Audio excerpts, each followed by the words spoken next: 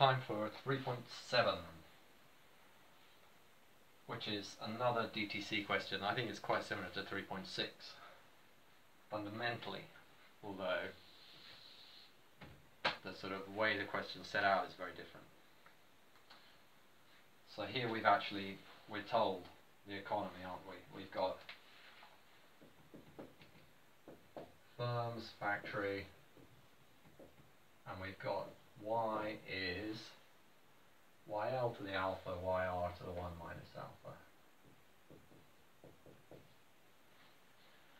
Okay. And yl is just kll. So we've got L coming in here, and that's just KLL to the alpha, so this is actually a standard setup, and then we've got YR to the 1 minus alpha, and YR is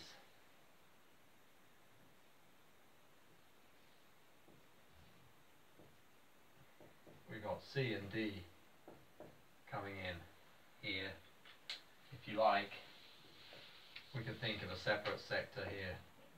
We've got C and D, and then a black box sector sending in YR. In this black box sector, we've got that YR is, what have we got? KCC to the epsilon plus KDD to the epsilon, all to the 1 over epsilon. Okie doke. Knowledge stocks grow together exogenously. The K's are all equal and they grow. Oh, it's continuous time actually. Yeah. So they're all equal and we've got K dot over K is theta. KC equals KD equals KL, which is in there, yeah. Okay. Find the shares in total product of YL and YR. So if we think of these black boxes, YL and YR, and then we're putting them together. So we've got the firm putting YL and YR together has this um, profit function, don't they? It's Y, PYY, but PY is 1 minus PL, YL minus PR, YR. and Y is YL to the alpha 1 minus alpha. So the first order condition oh, let's do L first. The first order condition in L gives us sorry not in L in YL gives us alpha Y over YL equals PL so PL YL is alpha Y by symmetry PRYR is 1 minus alpha Y and my pen's running out.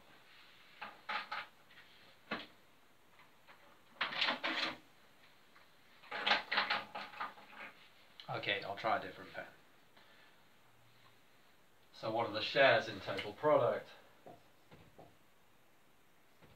Oh. Yeah, so those are the shares in total product, aren't they? PLYL is alpha Y, PRYR is 1 minus alpha Y. That's actually the answer. Relative shares are then alpha over 1 minus alpha.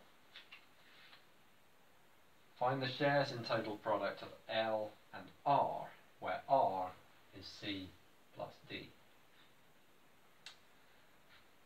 Okay. The shares in total product of L and R. Wow, that seems kind of tricky, doesn't it? So, what are we spending on L?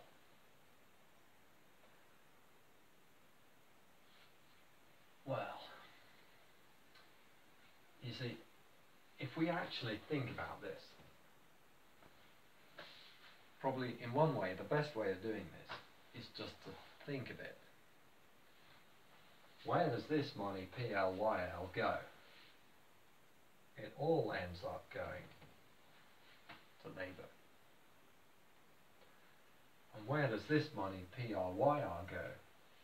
It all ends up going to the inputs of clean and dirty um, inputs, resources, whatever they are. So actually, probably really the best way to answer this is just to say that they are that WL L is alpha Y and WR R is 1 minus alpha Y. Okay, we can just write it down. We're going to have to do the math actually later, but you can do this, that's pretty impressive. You'd want to explain it in a few words, yeah? Okay. So that's B, A. But in part C, we're not going to get away with, we're not going to get away from doing these first order conditions involving this, of course. But we can still do part B in the easiest possible way. Part C derives separate expressions for the factor shares of C and D in production of YR. First in terms of quantities, then in terms of prices. Okay. So now, let's think of this black box where we're putting together C and D and making YR. And then we've got PR profit in, in that black box is PRYR. Now we don't know PR, right? And YR is this minus WC C minus WD D. Okay. So your inputs are C and D, your output is, or your revenue is PR. Your output is YR, your revenue is PR, YR, these are your Now, derive separate expressions for the factor shares of C and D. So we're going to take first order conditions now in C and D. So let's take the first order condition in C. Then we get 1 over epsilon yr, and then we do this fancy stuff, and we end up with yr to the 1 minus epsilon, remember? Then we go inside and we have epsilon times this to the epsilon over c so we end up with yr to the 1 minus epsilon kcc to the epsilon over c.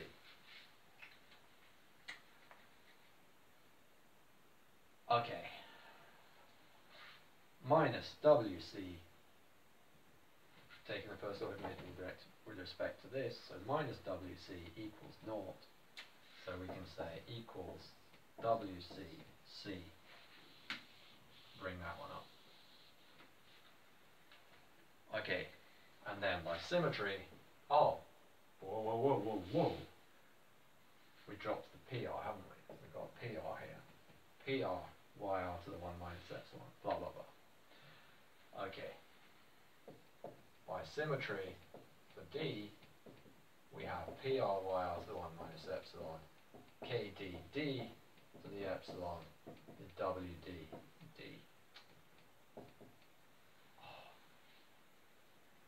Never make my mind up whether it's small or big C's and D's. Sorry. Okay.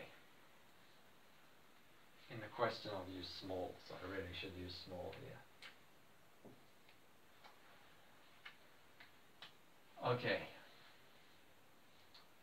So then what about the shares? We divide one by the other here and we end up with KCC over KDD is WCC over WDD. Then we got this to the epsilon, so we take that over, so to speak, and we end up with that. So that's an expression for the shares. But we're not quite done yet.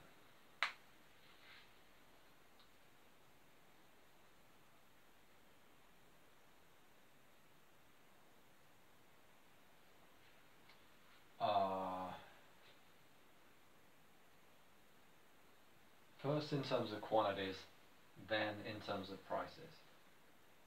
Okay, so here we've got both prices and quantities, haven't we? So that's no good. So let's say we want to get rid of prices. How are we going to do that? Um,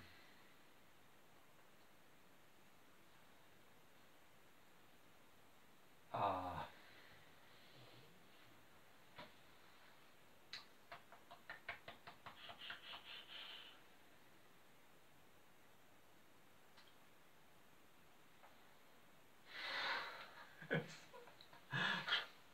I'm tired here.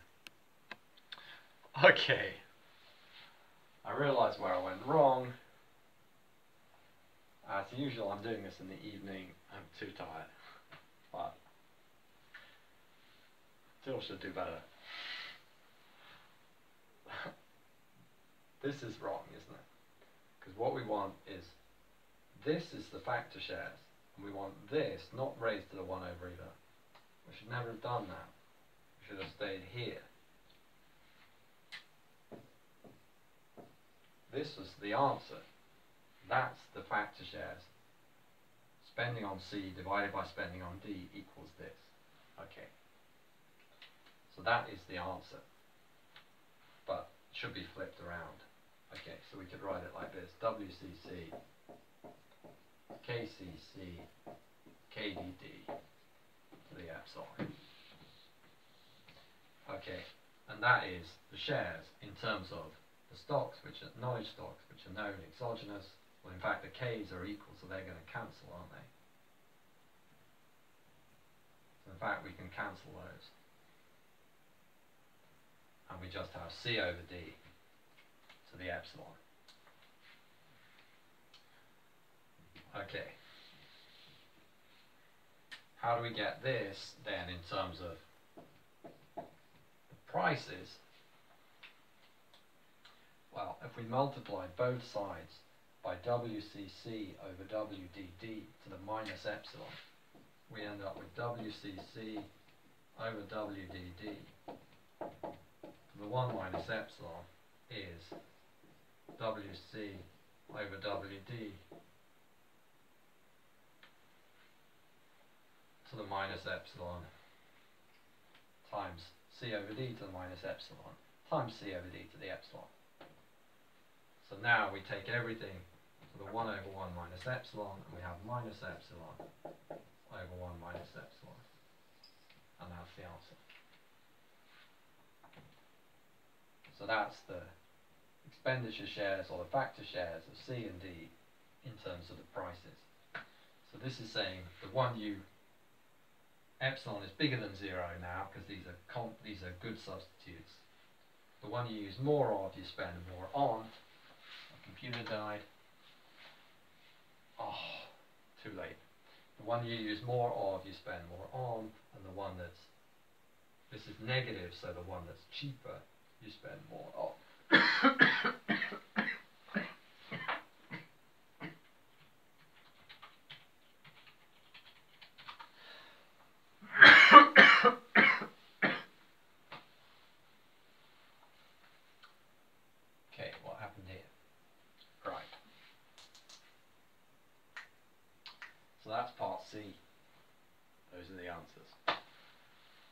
D, assume only init initially only factor D is available, but at the sometimes C, T factor C also appears on the market, what happens?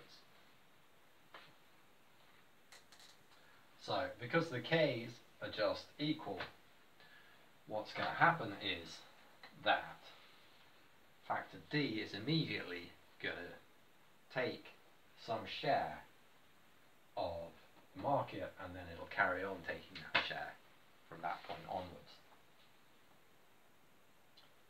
Well, in fact, since the k's are equal, if the prices of factors C and D are equal, then they'll take equal shares. If the price of D, if D is cheaper, it'll take a bigger share, If D is more expensive than C, it'll take a smaller share. That'll come from this.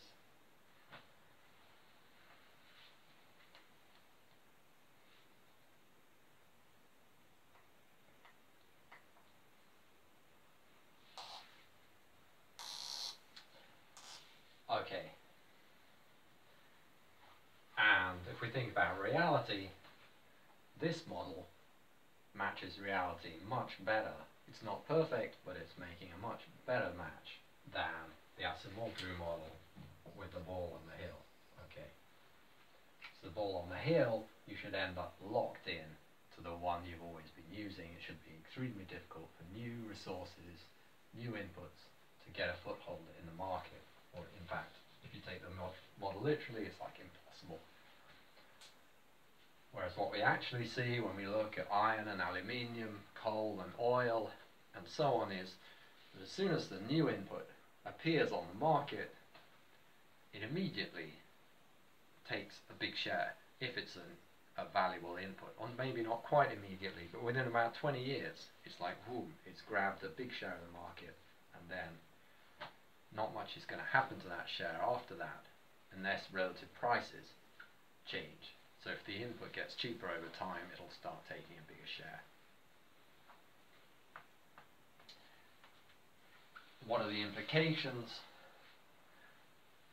This suggests that directed technological change isn't that important because somehow firms deal with that themselves. If a new input comes along that is intrinsically attractive, firms will pile in do the investment and raise its productivity anyway pretty quickly. But the important thing is to get the price of the new input down to make it attractive. If the new input is intrinsically clean but intrinsically expensive, you've got to either subsidize it or tax the dirty one. Okay. And so for carbon dioxide, it means don't pile loads of support to research into solar.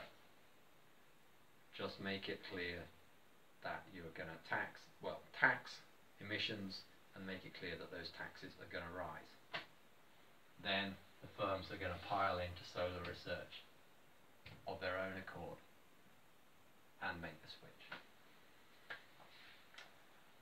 And that is the end of that question.